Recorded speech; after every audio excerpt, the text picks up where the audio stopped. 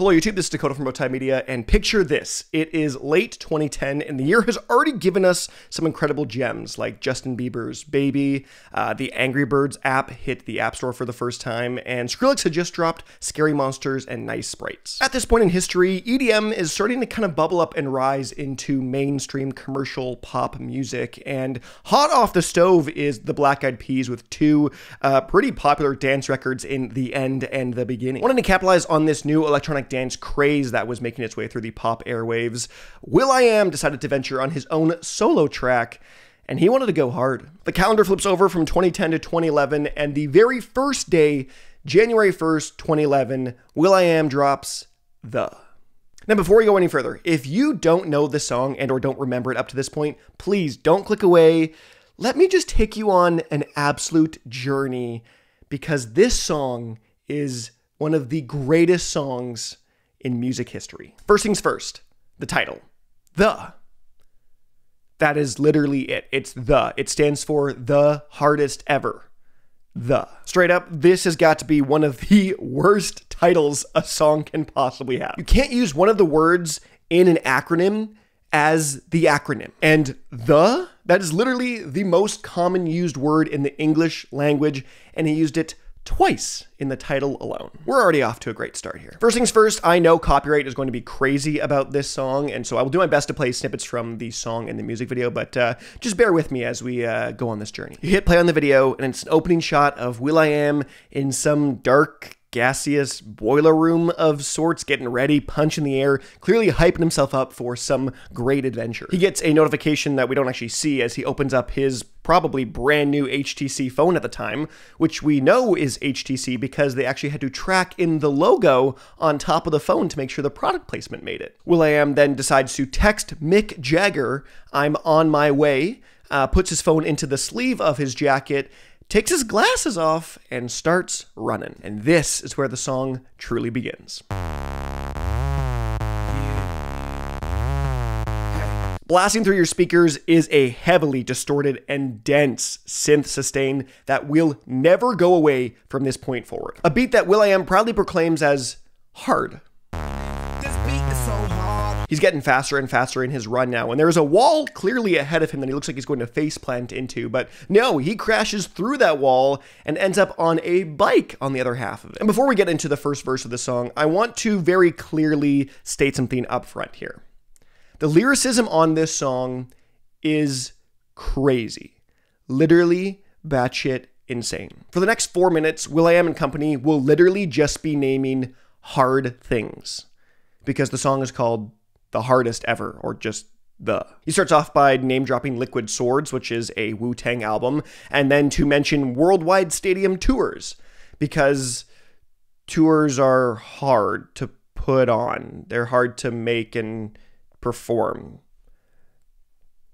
While stadium tours. Then we get the first of many lyrical motifs that are my personal favorites from this track. Numerous times throughout this song, he will start talking about something in the vague realm of being hard, just to have a kind of pause and then just say something that is anecdotally close to that hard thing. There's no setup for these objects here. He merely just mentions it because it is closely related to the thing he says at the beginning. I am the future, DeLorean doors. Stating that he is the future, will.i.am then just mention something that is vaguely about the future, which is the DeLorean doors from the DeLorean from Back to the Future. So he just sort of just says something that vaguely relates to the future. And he doesn't just do this once. Oh, he does it over and over again. You want some more proof? Work hard, that's my thesis. This beat is a shit thesis.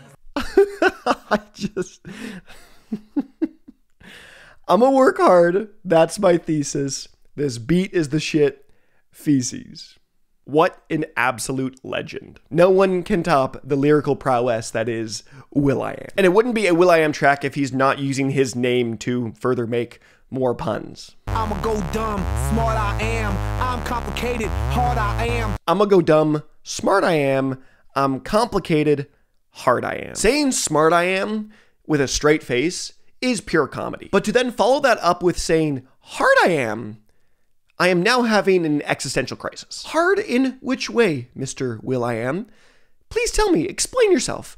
In which way are you hard I am? As the first verse comes to its close, we uh, need to see our Beats speakers here in the car as we are graced by the wonder that is Jennifer Lopez. I must say, this is just peak 2010s. The like heavy dance beat with a popular female singer on the chorus as they dance all sexy. Like this is this is pure nostalgia for me. Sonically, this is probably actually the best part of the song. Uh, JLo's vocals are fine. The synth melody here is fine. The bass line isn't too overpowering.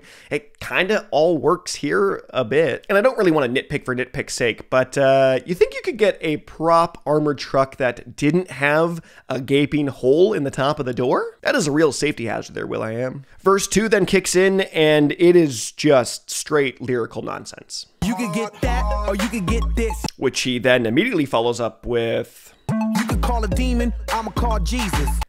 I just don't understand how this song is a real song that got made. But we can't revel in that for too long because uh, will.i.am needs to name more hard things. We haven't named enough hard things. I'ma go hard like a motherfucking boner. I'ma go hard like a motherfucking boner. What are we doing here? I cannot believe I used to listen to this song when I was younger and just totally didn't think about the lyrics at all. I literally in my head was like, yo, this beat is hard. This is great. How did I miss all of this? But it just gets so much better. In a stroke of pure brilliance, uh, will.i.am jumps out of an Apache helicopter onto a moving bullet train just to deliver the greatest line in music history. Uh, I woke up in the morning, hard like morning, wood in the morning.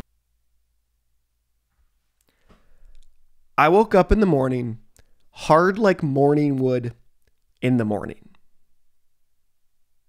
This is genius.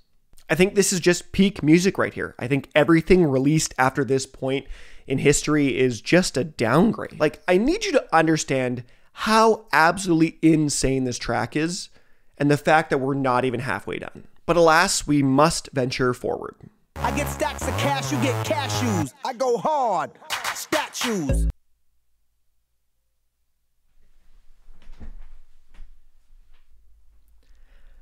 I get stacks of cash, you get cashews. I go hard, statues. You've done it, Will. will.i.am.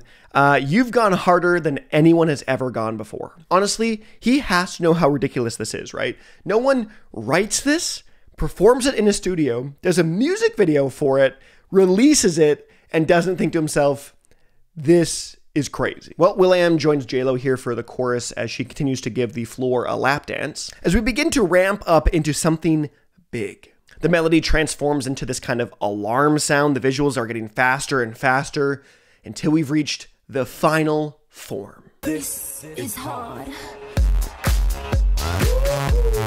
In what I can only describe as an ode to 2001 A Space Odyssey, will.i.am has become the first man ever to travel faster than light, and he couldn't have done it without his Beats headphones. The beat is fatter than before, the bass line is heavier than it's been, and we're not even done yet.